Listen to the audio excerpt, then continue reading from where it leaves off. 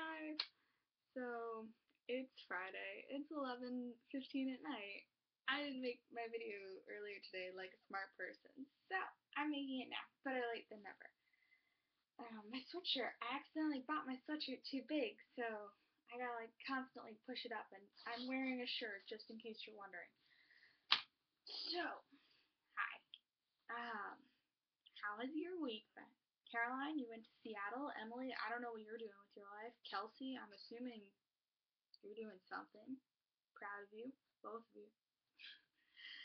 um, I have been working with my cat to perfect the art of cat perching. My stupid cat likes perching on my shoulders, and she's dumb. I don't understand it, but uh, when she gets really hungry, that's when she does it, because then she like nudges her head into my head, and I'm like, Ugh. I have a video. I don't have it up on Facebook or anything, but I have a video. What else? I made chocolate chip cookies from scratch. That was fun.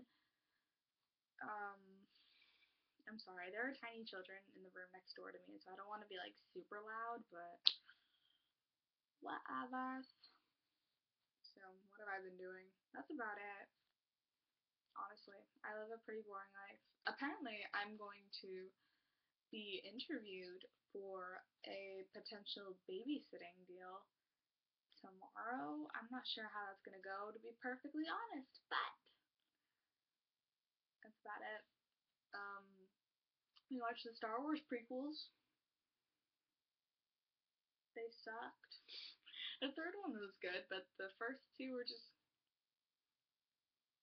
The second one was just terrible. I'm sorry. My, my computer went dumb. Um, Caroline, your question is there a class you're looking forward to?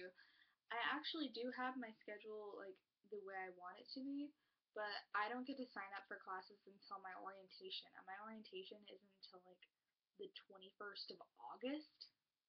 So that's fun. Um, I get to do that. I sent my roommate a message on Facebook. At least I hope it was her. That's fun. Um, but yeah, so should probably think of a question. I'm so boring. All the way in Florida and I don't do anything. I feel so bad.